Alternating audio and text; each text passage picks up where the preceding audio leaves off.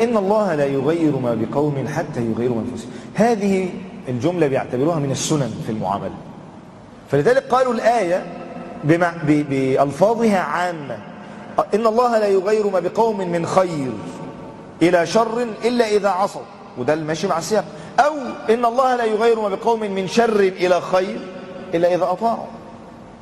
فاهمين يعني الآية تنفع للاثنين يعني إحنا عايزين نتغير للأحسن عايزين ربنا يعاملنا معاملة للأفضل. خلاص أنتوا تغيروا للأفضل.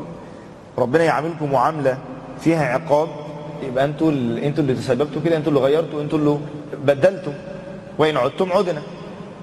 في فارق بين سنن الله اللي بتعامل الفرد وسنن الله اللي بتعامل المجموعة.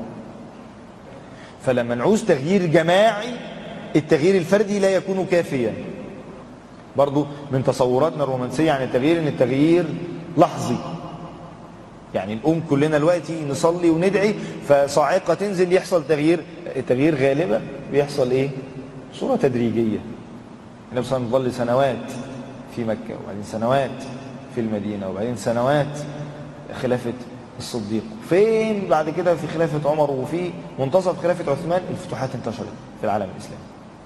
فالأمر بيحتاج إلى سنوات من البذل والتضحية